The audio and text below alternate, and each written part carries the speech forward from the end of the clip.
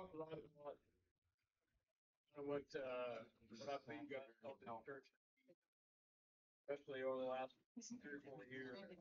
But, um, you know, I oftentimes, just in my own personal time, try to take a step back and just reevaluate, and make sure that I'm not so focused in on what I think something needs to be or the way I think something should go and, and really just evaluate how, how God's trying to use me, how he's trying to use our, our family here, and uh, just make sure that staying in, in God's plan. And it, I mean, I, I don't have any different thought on where we've been over the last several years as, as it goes. Uh, obviously, not to the degree that the Old Testament prophets were used, but the, the similarities in what their specific role was in the timing that they lived versus what I believe, so to speak, my calling is and what I'm supposed to be doing in the time frame we live, I see a lot of comparisons. Not that God's giving me any kind of new revelations like the Old Testament prophets were receiving, but understand what the prophets were used for. The prophets were used to bring Israel a message. And unfortunately, most of the time, that message was, hey, you better figure out what's going on because you're not doing what needs to be done. And I believe that's what our church is supposed to be doing with the world. We're, we're like, this body is like a prophet to the world, so to speak. And as we're going through the book of Esther, I see that playing out, and specifically in what we're going to look at today, in the fact that what God's using Esther for and what he's using this church for, there's a lot of similarities. Now, the one thing I am thankful for is that we're not a prop called to be a prophet like Isaiah. Because in Isaiah chapter 20, he was told by God to go out and preach naked. So I'm just very thankful that that wasn't our call. Uh, but, you know, what gets me the most, you do realize that all the Old Testament prophets, they were called to do something specific like that? Because they each represented a certain aspect of, of who Israel was. Isaiah was called to preach naked because he was supposed to represent to Israel that they were basically standing naked before God. They, they had forsook all the things that God had promised them and God had for them. Hosea was told to take a wife of whoredoms. He had to go marry a harlot. Why? Which, which by the way, was against the, the Old Testament law. But God did that because he was trying to show Israel that your relationship with me is like you have run off and married a whore. So all those prophets, they're they're all called to do something strange. And it's all excuse me, it's all a picture um, of Israel's relationship and the way they're working with God. But let, let me give you at the time Esther's working here. And remember, by the time we get into chapter 2, we're, we're right around 480 BC. So we're 480 years from the birth of Christ. We're only 80 years from God shutting the door on Israel and, and not giving them any kind of new revelation for 400 years. So we're really close to the end. And you see now why I continue to harbor the point that where Esther is in the Old Testament is very close in proximity to where we are in the church age. Uh, but let's take a look at a few things here. Turn to the book of Amos for a second. I'm going to flip around a couple of these minor prophets. If, if you don't get time to make it to them, that's okay. I'll give you the reference and you can go back and look later. But in Amos chapter 5 on the first one here. Amos chapter 5 verse 2. I'll start verse 1. It says, Hear ye this word which I take up against you, even a lamentation, O house of Israel. The virgin of Israel is fallen.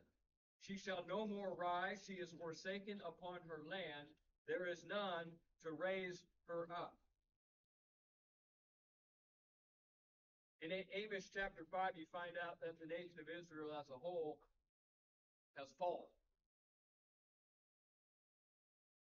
They are no longer as the verse says, that virgin that God looked upon to say, I have set you aside and set you apart for me to be my wife. They have forsaken that. They've fallen. Now look at Zechariah chapter 11. There'll be a few few uh, books down.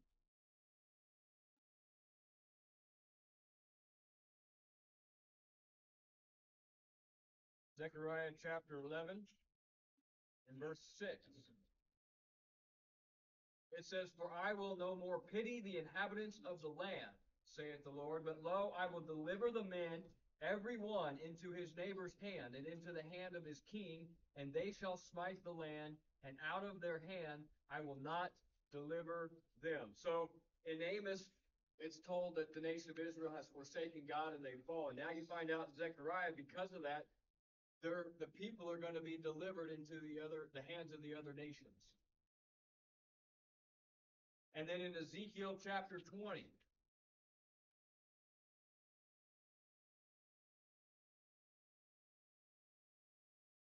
Ezekiel 20, verse 39. It says, As for you, O house of Israel, thus saith the Lord God, go ye, serve ye every one his idols, and hereafter also, if ye will not hearken unto me, but pollute ye my holy name no more with your gifts and with your idols. So now they've gotten to the point where because they've fallen and they begin to be delivered into the hands of the enemies, now they begin to serve the false idols of those enemies. In Nahum chapter 2, I'm not going to flip over, I'll just give you the, the overall. Got three more here. Na- Nahum chapter 2, verse 13. God tells them that He is no more going to send them message. They will not hear from God anymore during this particular time. In Hosea chapter 1, verse 6, they will no longer receive mercy. And then back in Ezekiel chapter 21, God finally tells them that there will be blood in the land because of their rebellion. So look at the progression. They forsake God and fall. They begin to be delivered into the hands of the enemies, and they begin to serve idols, and they will no longer receive God's message, and receive God's mercy, and in the end, they will their blood will be shed on the very land that was supposed to be holy. That's the state the nation of Israel is in right now as we come into the book of Esther. Completely have obliterated everything that God had set apart for. I mean, it, if you if you really allow yourself to go to that point mentally and think about think about what they are up against and think about the decisions that they have made that would cause God to completely turn aside. I'm sure most of you probably, if you've been saved long enough, or even if you haven't, and you know people that claim to have relationship with God, you probably know individuals who are kind of in this state spiritually. You know, the, the, the New Testament doesn't use the term backslide, backsliding, backslide. That's an Old Testament term. That's an Old Testament nation Israel term. We use it to represent somebody that has fallen away from God. But ultimately, that's the state the nation of Israel, and they have backslidden. How many of you ever heard the saying, you're either moving forward or you're moving backwards. You're never just staying the same. Whether it's in life, whether it's in athletics, whether it's in whatever, it also applies spiritually. You can't just stay status quo in your relationship with Jesus Christ. It's just not doing it. He, he tells us that we are to renew our mind, that it's a daily process. We're told by Jesus Christ himself to take up our cross daily. It's a daily process. And you see what happens to Israel when they lose sight of that. They, I, I have to believe that they've gotten to a point mentally where they just like, you know what? We're better than everybody else.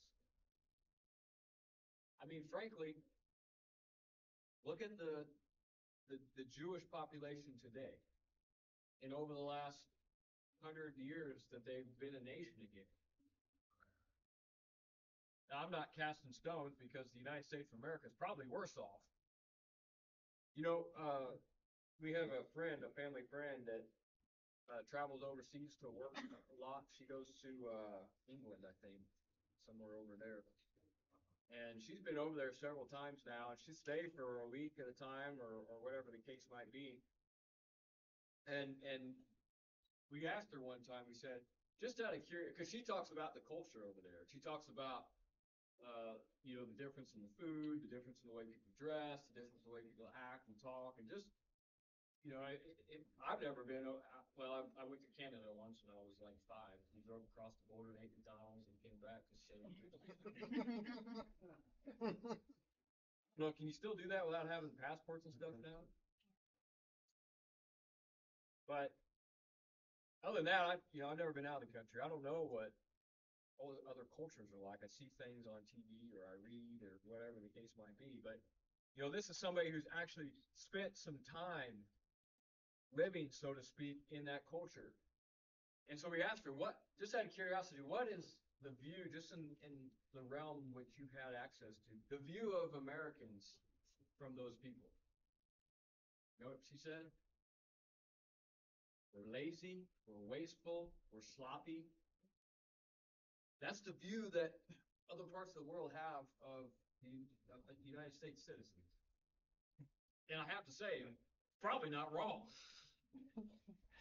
But you know, I, I, the reason I said that is because I'm not trying to cast stones at the nation of Israel or the, the Jews. I'm not talking about the nation of Israel. I'm talking about the Jewish people. And again, this isn't everybody, but for the most part, the Jewish people kind of have an edge about them, do they not? They kind of kind of think they're they're hot, right? I mean, that was the premise of what what brought World War II in, and what allowed Hitler to come to the, the rise of power that he did. You know that World War One, God cleared out the land for the Jews, the land that He wanted them to go back in. He cleared them out in World War One. And he told the nation of Israel, the Jewish people, to come out of Europe and head back to the land. You know what they told him? We don't want to go.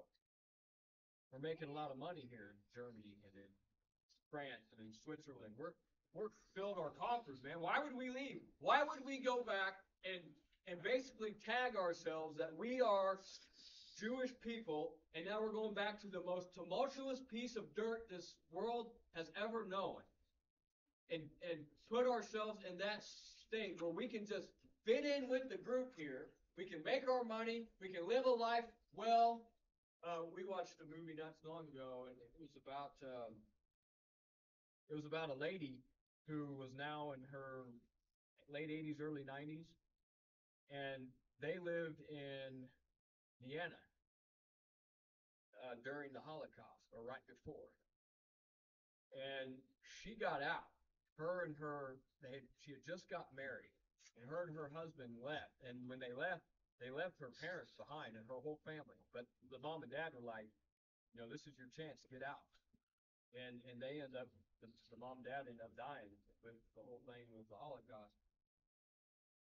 Well, now that she's in her 80s or 90s or whatever, he goes back, and I had no idea this was even a thing.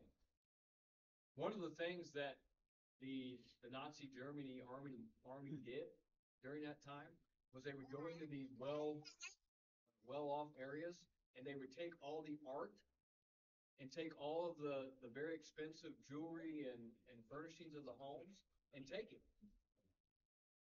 And they were using that for becoming wealthy. Well, this lady had a a painting that her aunt her aunt was very um very high in wealth. I don't know what exactly her status was, but she ended up dying from an illness at a young age. But she had made this painting that was now is now worth in the tens of millions of dollars. Well, the, the Vienna people had taken it, and it was the centerpiece in their um, museum, their art museum, and along with other works that came out of that house. And so her fight was, this is a true story. I don't know how how I didn't I researched you know the parallels, but but they went actually to the Supreme Court of the United States because they were profiting money out of America through this painting as well as you know And the Supreme Court favored with her, and she got all her, all the artwork back. And then at the end of the movie, you know, they posted how many pieces of art and how much money that has still never been reclaimed by the Jewish people from all that time. It's, I, wow, I was blown away. But what they would do is they would come in and as they were taking the Jews out of their home, they would, they would collect all the, the pieces as well. But what was striking about that particular setup is the last conversation that girl had with her dad before she was leaving. She went in to tell them that we, we've got a plane, we've got two tickets on a plane to get out. And she was basically saying goodbye forever to her mom and dad. Her dad looked at her and said, Hey, we understand, you've gotta go. We've lived our life, we've done our thing. You're young, you, you need to go and be free. But he said, when we came here, and he was talking about his whole family and, and, and the people that, that came with, we came here, we all had nothing. We were very poor. And he said, now look at the, what God has given us and allowed us to have. And we're very wealthy now. And I saw that instantly and thought, that, see, that's exactly what, what history doesn't tell us. That the Jewish people became extremely wealthy in Europe and would not leave. And it became too late. They couldn't get out. They got trapped. And so God brought in World War II and the, the Holocaust to force the nation of Israel out. So pride doesn't bring anything but destruction. You know that from the book of Proverbs. And so I have to look back and think that in this particular time, the nation of Israel potentially had themselves in the same mindset that you found the Jews in the early 1900s that, hey, we are where we are. We don't want to leave. We don't want to change anything. And God finally said, fine. I'll usher in the, these Babylonians. I'll usher in the Chaldeans. I'll usher in the, the Assyrians. And they're going to take everything you own, and eventually you're going to be left with nothing. And eventually you're going to be living in Babylon.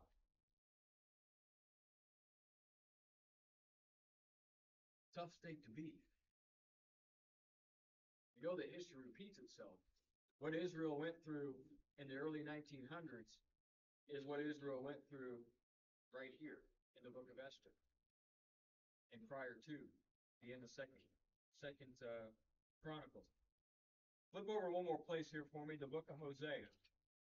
Daniel hosea. Give you a reference where we're at.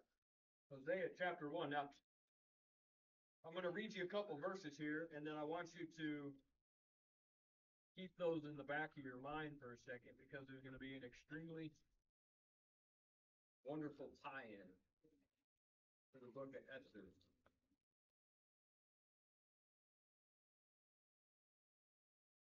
Now in Hosea chapter one, look at verse four. Now these are Hosea's kids that he's, getting ready to name here. And it says in verse four, And the Lord said unto him, Call his name Jezreel.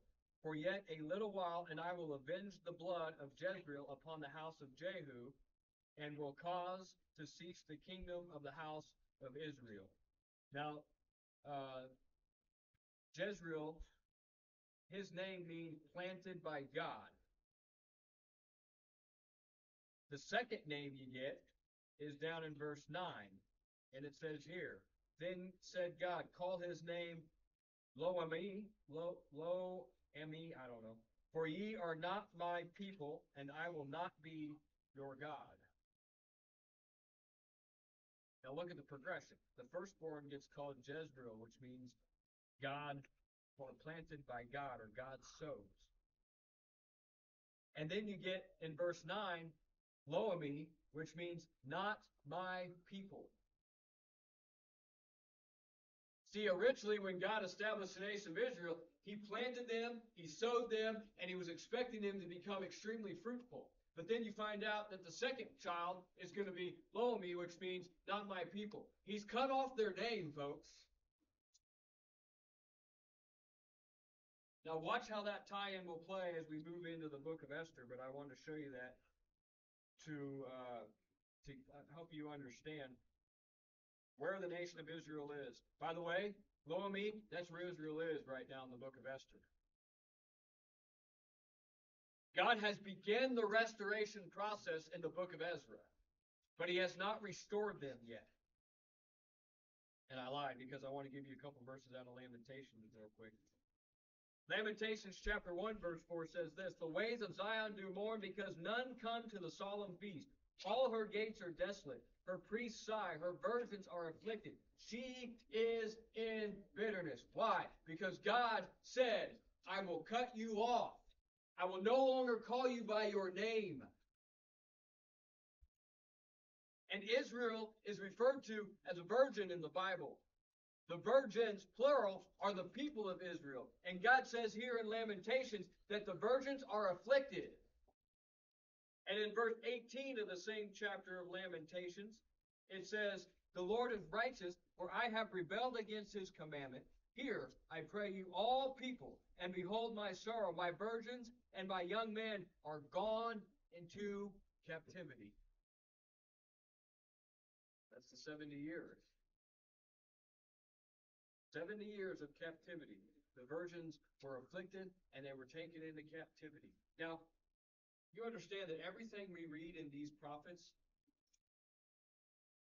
is either something that took place historically or it hasn't yet taken place.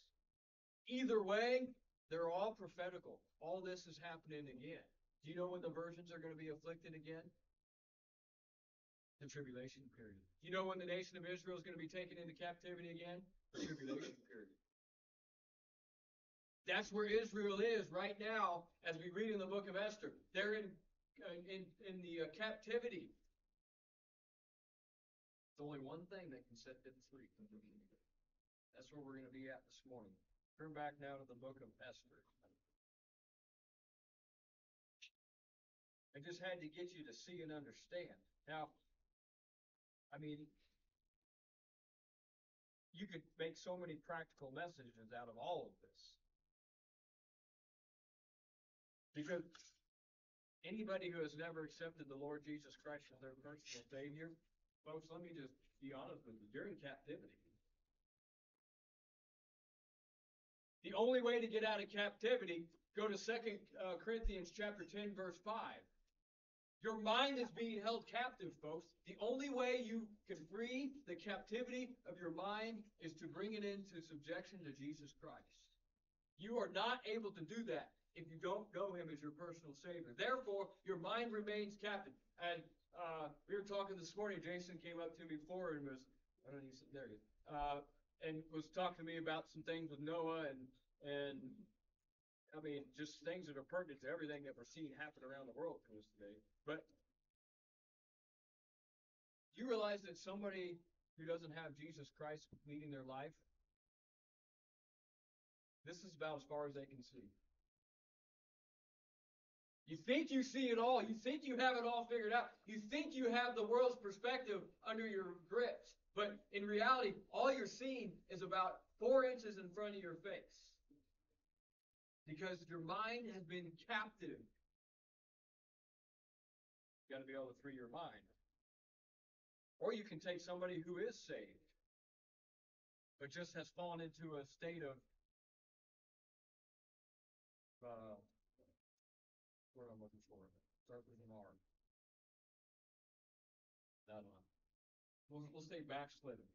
What do you, uh, not, not R, A, apostasy, sorry fallen into a state of apostasy where you've just been totally blinded by the religions of the world. You've been blinded by things that aren't true. And you've allowed yourself to be captivated by those things.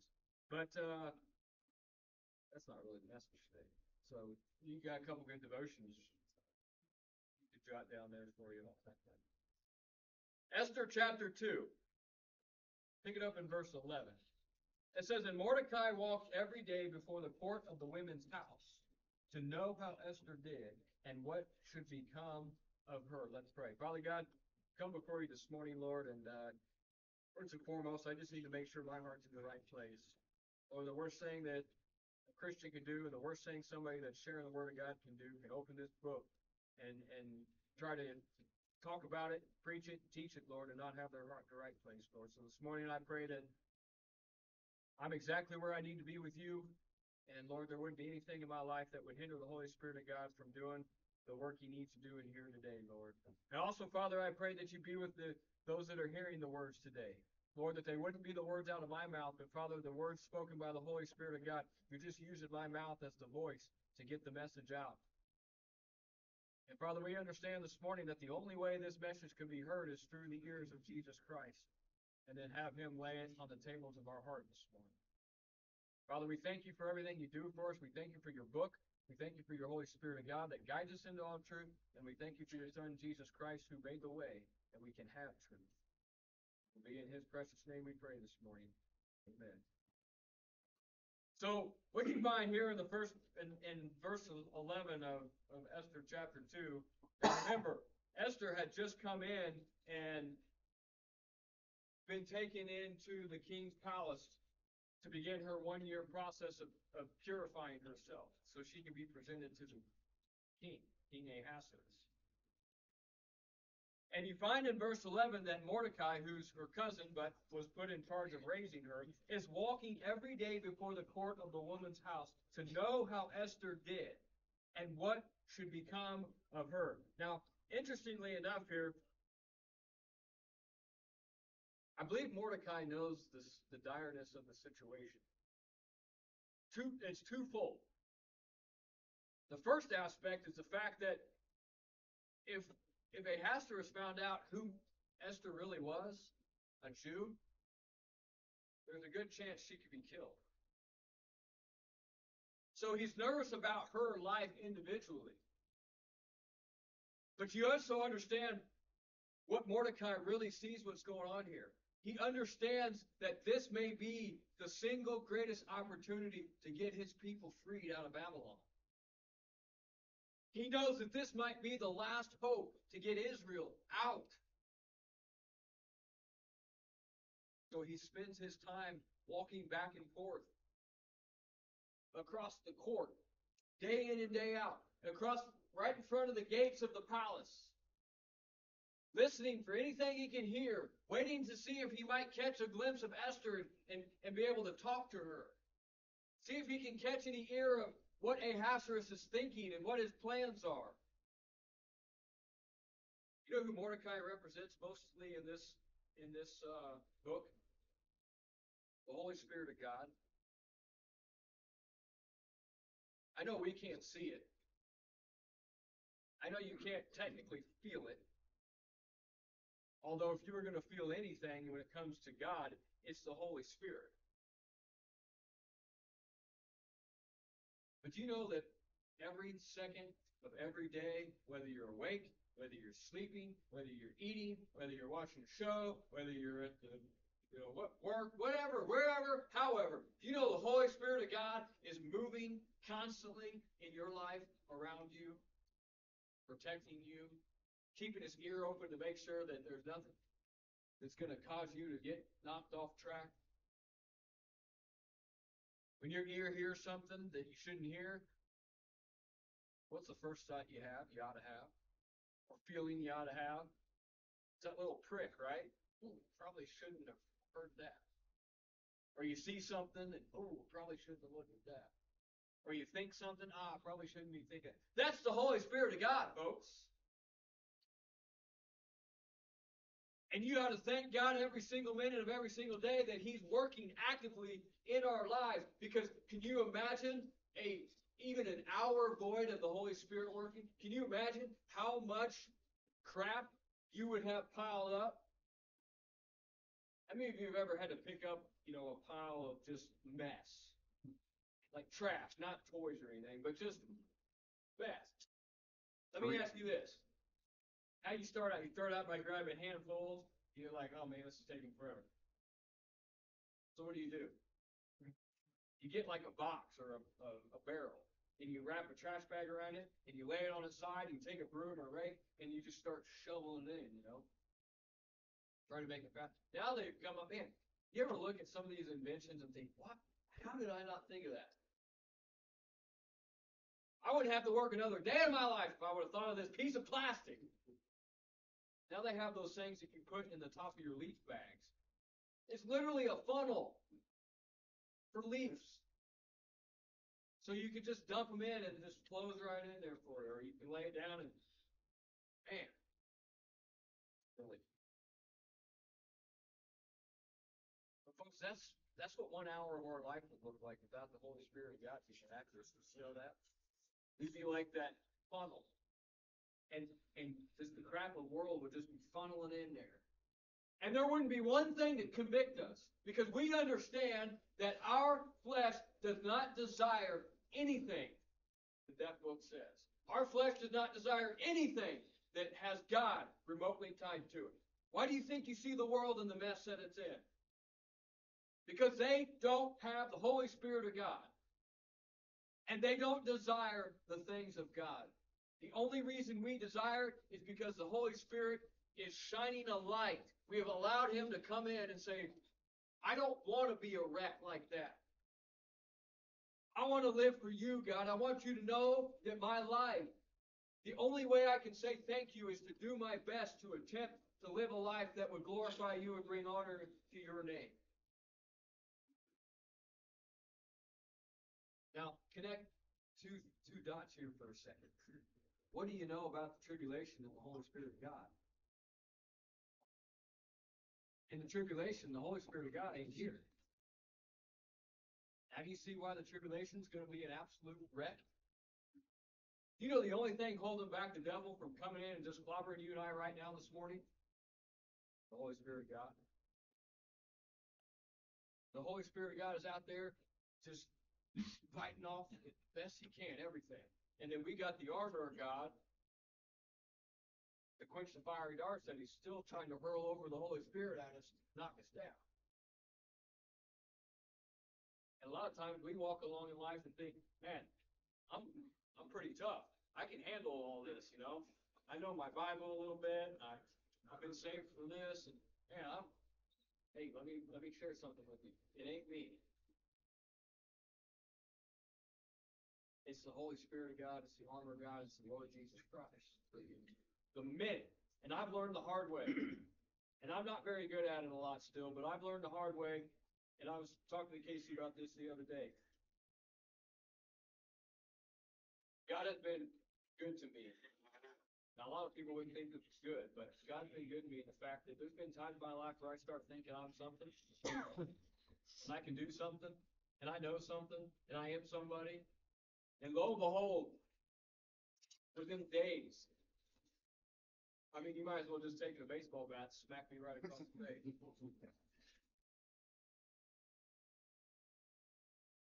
I tried to stay, and again, I'm not very good at it, I'm not, I'm not bragging, that's, please don't understand, but I've tried in my adult life here over the last 10, 15 years, to stay as humble as I can, and to realize that the moment I start thinking, man, I might, no, no. Man, look how good, I, no,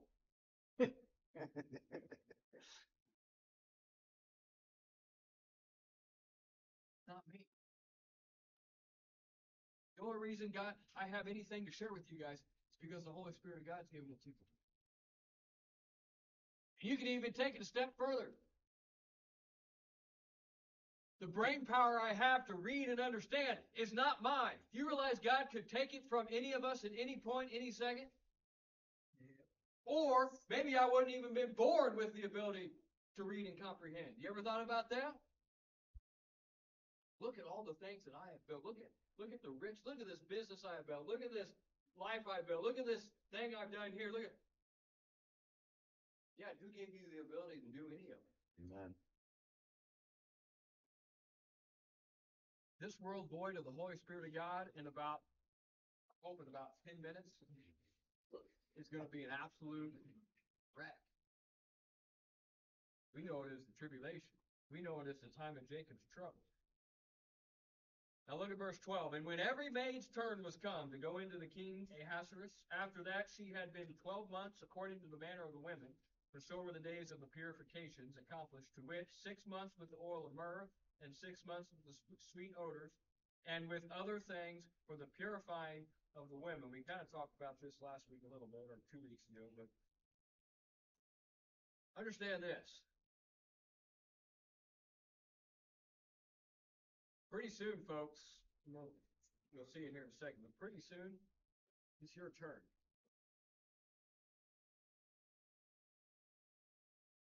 But in the meantime, while we're waiting, you know what we should be doing? Same thing Esther was doing. Realize that this was the last chance. Because very soon, in the next chapter, a man comes to power. And he wants Israel killed. The last chance. If Esther wouldn't have been ready, history may be completely different, folks. Now, would it have affected us? I don't know. But mm-hmm. regardless, it's God's history. So in some ways, it would have affected us somehow. So you know what Esther took a full year to do? She took a full year to prepare herself. She knew she was getting ready to go be the king. And not just the king, the king of 127 provinces. Let me ask you, how many states do we have? Okay, good. I got nervous there for a second. Of course, they, they're constantly changing everything in, in history and geography. You know, we have nine planets when we were kids, then our kids had eight planets. Now they think that there's nine again. Uh, they, they changed the oceans at one point. I don't know, did they, did we add an ocean or did we decide it's not a separate ocean now? I don't know. I remember we went to, you know, one of the kids' back to school nights, it was Paige, when she was in elementary, I can't remember what grade, but I think third maybe. And we're sitting there, you know, and all of a sudden the, they get up there and they start talking about how now we have another ocean. I guess God's still in the creation business, I don't know. I don't know. Well, maybe that's right.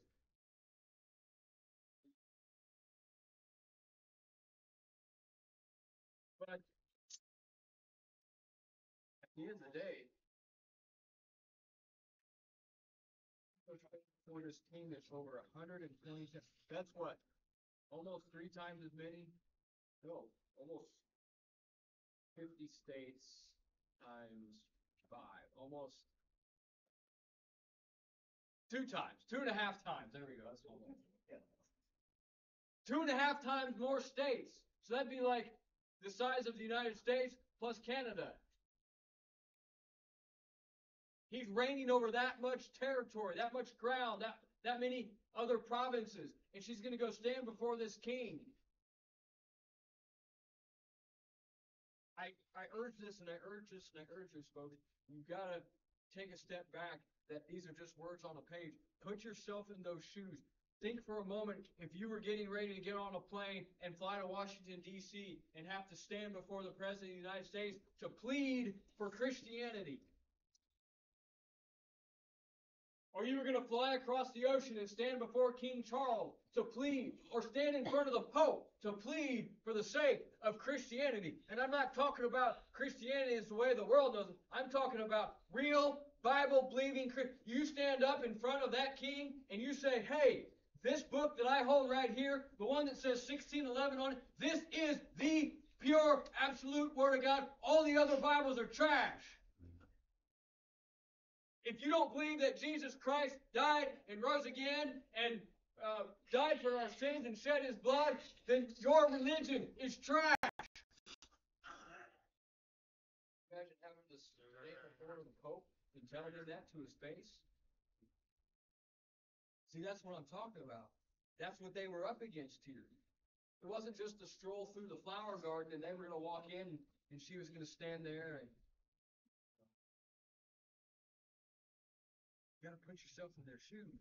Maybe, it- maybe it'll help you in your prayer life if you read over the scripture and you pray and you thank God for the things that have taken place that allows you and I to have what we have here today.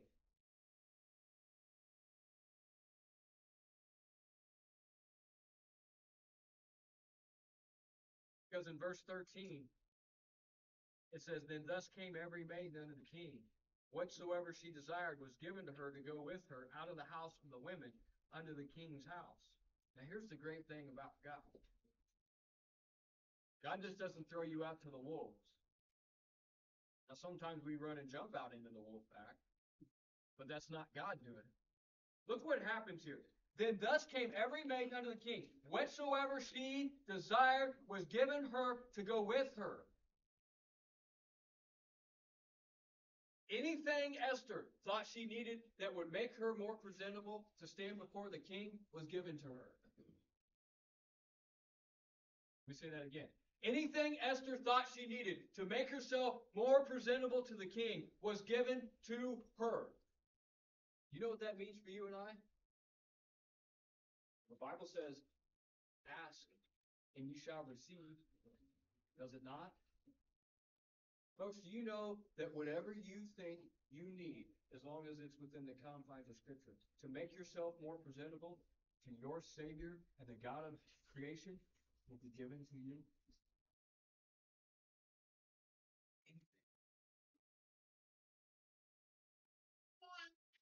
You know what it takes? It takes verse 12. It takes you and I spending some time to separate ourselves and say, hey, I'm going to spend this next amount of time just preparing myself because very soon my turn's coming. And I'm going to stand before my Lord and Savior Jesus Christ. It's not in my time frame. Esther didn't know when that day was coming. You and I don't know when that day's coming. All Esther had was that day. And if she woke up the next day, she had that day. She didn't know. At any moment, there could have been a knock on the door and said, Esther, your day is here. But in the meantime, she had the ability and the offering to have anything she needed. You know, you and I have that same exact same promise. I mean, look what we've already been given. We've already been given the opportunity for salvation that we don't have to do anything to have other than just cry out to Jesus Christ. We've been given the Holy Spirit of God. We've been given the Word of God. We've been given the mind of Christ. We've been given a church. We've been given a body. I mean, what else could we possibly need? Now it's on us. Amen. Because verse 14 says this in the evening she went. I think that's interesting timing in light of the church age. Because we've talked about many times how there's a lot of references to the rapture being in the evening. Folks, in the evening, she went. It's her turn. Now, I told you when I opened this thing up that very delicate in searching out what God wants me to be doing and saying and what I believe God wants this church to be doing. And it hasn't wavered for a long time now. I believe right now we have one call. And if it changes, it changes. Fine, I don't mind. But one call. That is to make sure that we are in preparation for our turn. No matter what else you do in life, no matter what you spend your time, make sure you never lose sight of the fact that this is your preparation period. Because at any minute, your name's going to be called, and it's going to be your turn to stand before. In our case, it's not a king, it's a savior. It's going to be your turn to stand before. I've shared this many times, but on August 20th, or excuse me, April 20th of 1999, God opened my eyes. And I realized that if that day had been my turn, had it been the same as some of those kids in Columbine, Colorado that were shot to death because of their faith in Jesus Christ in that school, I, I, I think I would have gone to heaven because I do believe I was saved, but I was not ready. I thank God that moment that it was not my turn. And I dedicated to God, even though I've made a lot of dumb mistakes between 1999 and 2024. But I dedicated to God that day, that moment. that from this point forward, I would spend my life serving you however you asked me to serve. Because the last thing I wanted for myself, because I, that's all I knew at that point, was to be found wanting when it was my turn to be called. And then God put the burden on me to say, hey, you've, I've given you everything now. Now it's your turn to take it to the world and make sure they're not found wanting. That's out of Daniel chapter 5. Remember? Tikoi, Tikoi, whatever the Aramaic expression is. That king was found wanting. I don't want you guys to stand at the judgment seat and be found wanting. I want you to spend your time when you meet your Savior face to face to be worshiping and praising and thanking and crying out in just uh, absolute awe. I don't want you to spend your time missing out on the things that God had for you. This is our preparation phase. And, and we got to tie that in then with Mordecai. That once God begins that preparation phase enough, we get that burden to make sure that we're preparing others too. Man, I, I just, I get blown away. I mean, Jason comes up to me and starts talking about the preparation time of Noah building the ark. Having no, he had no idea what the message was about today. And it happens all the time. You guys even come to me and talk about people in Europe that you've talked to through the week. And God's put the same thing on your minds that He's put on my mind and everybody else's mind in here. Noah was 120 years in building the ark. 120 years of preparation. He was a preacher of righteousness. He was trying to tell the world, it's going to rain. The rain is coming. The flood is coming. You know what everybody said? First they said, what in the world is rain? And surely a loving God wouldn't do something like that us. Casted him off as a fool. Till the rain started. What was that shirt? Did you say you got it? Yeah, uh, Noah was a conspiracy theorist. That's right. Said they thought Noah was a conspiracy theorist too until it started raining.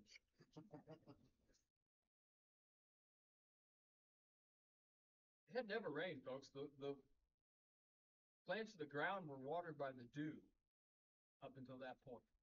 The first raindrop that ever fell from the sky on this earth was in uh, Genesis chapter 9 or 8, whatever chapter the flood starts in. By the way, the Bible says in Revelation that the tribulation period, the last three and a half years specifically, there has never been a time on the earth like it before, and there never will be a time on the earth like it again.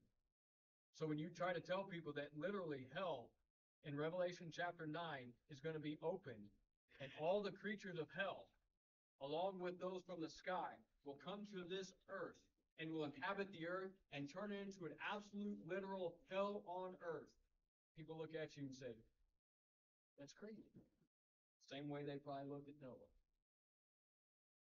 Hey, this is our preparation period. This is our time to make sure. We got to have the same urgency that Mordecai has in verse 11. The guy paces day after day after day, just trying to catch something out of the king's palace. You know what we to do? We ought not stray too far from the king's palace. What's that old lady say over there? I, I don't mean older than old, but what's the lady say over there in in the gospel when Jesus tells her that she's a dog? She says, Hey, I'll just take the crumbs off the table. That's all I'm looking for. I'm not trying to get to the big feast. I don't need the T-bone steak. I'll just take the fat that gets cut off the edge and I'll munch on that for a while. That's all I need. That's all I need. I just I just want the crumbs. That's all I get. Don't stray too far from the palace. Folks, very soon our turn is coming. Now, I told you uh, with that verse in Hosea and, Jer- and Lamentations about Israel's name getting cut off. Watch this. Look at verse 14 again. In the evening she went. And on the morrow she returned into the second house of the women, to the custody of Shaashgaz, the king's chamberlain, which kept the concubines. She came in unto the king no more. Now look what it says after the comma. Except the king delighted in her, and that she were called by name. Say, I, don't it. You gotta understand where we are historically and where we are prophetically. The nation of Israel, as we opened up this message today, had been cut off. They had lost their name. They were now going to be called uh, Laramire. And Esther's going to come in here, and for the first time, because Esther represents the nation of Israel in here, folks. She's a Jewish maiden. She's a Jewish virgin, which is exactly who Israel's supposed to be in God's eyes a virgin. And very soon, she's going to walk in and she's going to return to the second house. This is where she spent her year purifying herself. And the only way she's going to get back in to see the king is how? He's going to call her by her name. And when she gets called by her name, I know I'm jumping forward, but in verse 17, she becomes queen.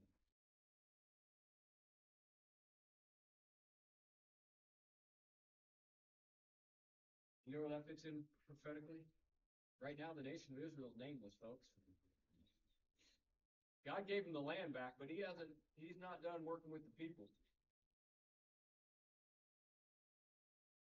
And in the tribulation, God is going to break Israel's neck. And he's going to make them finally understand that his son is their king, their king Ahasuerus.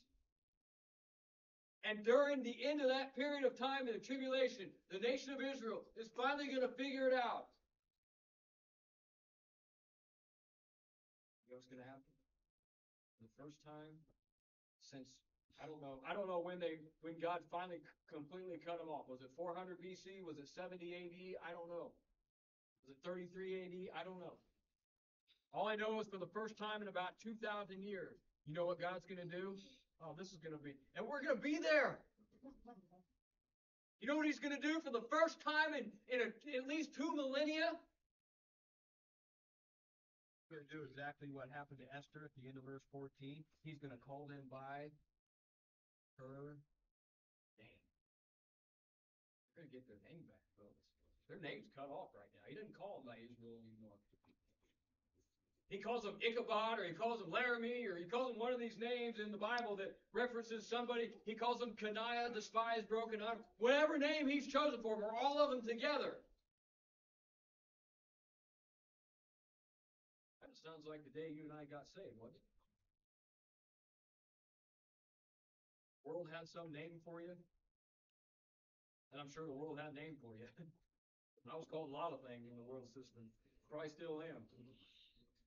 I wear it with a badge of honor now. I used to get mad about it, you know? Want to go fight them and spit on them. And I just laugh. I mean, I witnessed them first.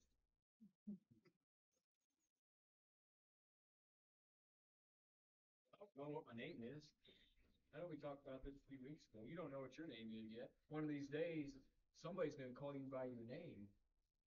You know, the rapture, I don't think God's going to use our earthly name. When He says, "Come up hither," if He says the name in that period, I don't think He's going to say the name. I think the only way we're going to get realize that God's talking to us is we're just going to get yanked out of here. I think He's going to call us by our new name. I don't know. Maybe we don't get our new name till the judgment seat. I, I'm not sure. All I know is at some point, before we enter into eternity, God's going to look at you and He's going to call you by your real name. And you're going to be His for all eternity. What the world doesn't understand right now is they're being fooled. This whole world has built a system that looks just absolutely unbelievable. It looks amazing. It looks so real and true. You know, you can't even get on the computer or on the TV anymore and figure out if a video you're watching or a picture you see is real or not, or the voice you hear. It's deception. And this whole world is after one thing deceiving you. Get out of it. Quit messing with it. Get yourself a new name. just like the nation of Israel. Jeremiah, real quick.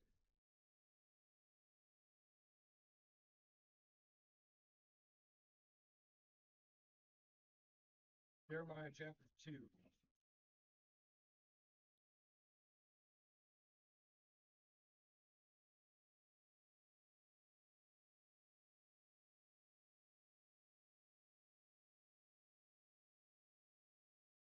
Jeremiah chapter 2, verse 9 says, Wherefore I will yet plead with you, saith the Lord, and with your children's children will I plead. You know what he's pleading? He's pleading, come on.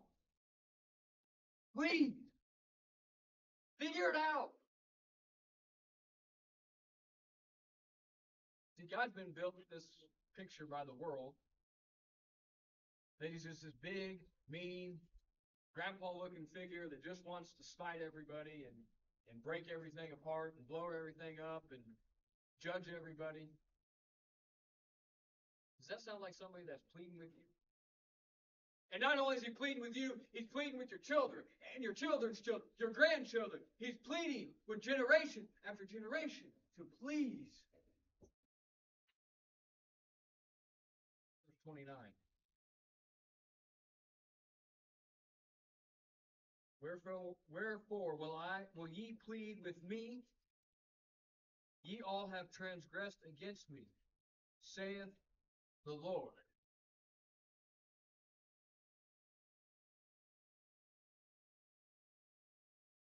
God pleads with us. Then there's a point where we get cut off. And then when we plead back, no response.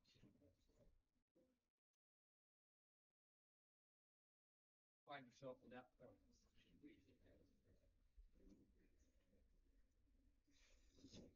And Esther, she's called a maid. Luke Chapter 8, real quick. I'll close out with verse.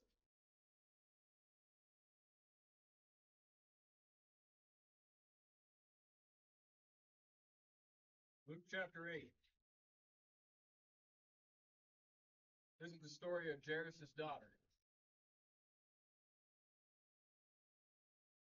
Now, doctrinally, this is a picture of the nation of Israel, but practically, this is a picture of a Gentile in the church age.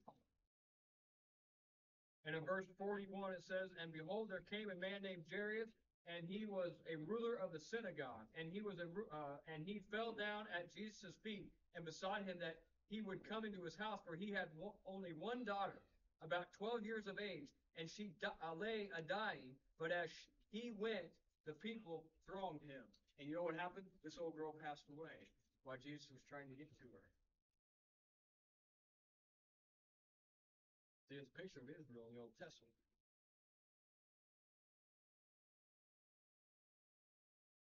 Look over verse 49. And while he yet spake, Jesus, there cometh one from the ruler of the synagogue's house, saying to him, Thy daughter is dead. Trouble not the master. But when Jesus heard it, he answered him, saying, Fear not, believe only, and she shall be made whole. And when he came into the house, he suffered no man to go in, save Peter and James and John and the father and the mother of the baby. See the tie? And all wept and bewailed her. This old girl lay there dead on that old bed. Twelve years old. By the way, 12 is the number of Israel. But can you imagine a 12 year old girl that you know, or a 12 year old daughter of your own, laying there, and you had reached out to Jesus Christ and begged that she was dying and he didn't show up? Now, folks, this is a picture. I told you in the Bible, there's a number of pictures in your Bible that by 12 years old, every child ought to be saved and have taken part, begin to take part in some kind of work for God. This is one of the stories that lays, lays truth to that. Because in verse 52, while they were standing there weeping, Jesus said, Weep not, she's not dead, but sleepeth. And they laughed him to scorn, knowing that she was dead. And he put them all out, and took her by the hand, and called her, and said, Maid! Her spirit came again, and she arose straightway, and commanded to give her meat. I raised that little girl to life.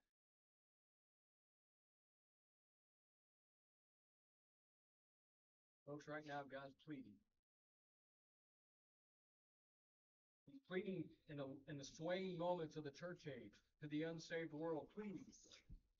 Come on in and get some bread. It's like David in the cave of Adullam.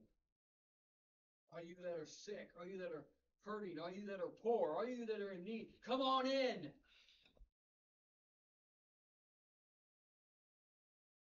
And to those that are saved that still just can't get traction under your feet,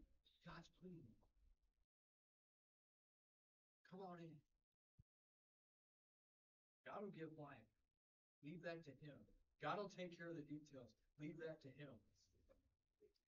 One of God's great promises to me was this. You just preach the truth, I'll take care of everything else. It took me a long time to trust him in that, believe in that, but by golly, he sure never has let me down. And anytime I start to try to get the details, guess what happens? Something goes wrong. And I just hear that over in my head. He said, just preach the truth, I'll take care of the rest. Quit getting in the way of what God's trying to do. Just believe the book, read the book, pray over the book, trust his son Jesus Christ, and just let him take care of the details. He'll never fail you. He'll never let you down one time. Because folks, very soon, our turn's coming. Now's the time of preparation. Do not stand before the Lord Jesus Christ and be found wanting. Please stand before him and be able to just praise and worship the holy God for who he is and the Savior, his son, for what he did for you. And let your time be spent doing that. But now's the time to take care of the details. All right, Father, we thank you so much for the day. I can't even begin to thank you for your son, the Lord Jesus Christ. I can't even begin to thank you for this book that we have. I can't thank you enough for giving me a mind that would believe it in truth. God, I'm so disheartened when I talk to Christians about the Bible and their lackadaisical attitude about it and their flippant attitude about it. It literally breaks my heart. And if I'm not careful, it can turn into anger and bitterness. So I have to really watch it. But God, I know there's some out there that are still seeking truth. I mean, Pilate had Jesus Christ standing right before him, and he looked him in the face, and he asked a stupid question What is truth? Jesus Christ already answered that question the year before when he said, I am the way, the truth, and the life. Got to fear that we're in the same boat that they were in back there. Lord, I pray that none of us are ever found wanting. We have the source of the ever flowing oil in our lap every day that we want it. We should never be found wanting. We need or we, or we desire something. All we have to do is open the pages of that book and pray over it and read it, God, and everything that we ever thought we would want would be fulfilled and then some.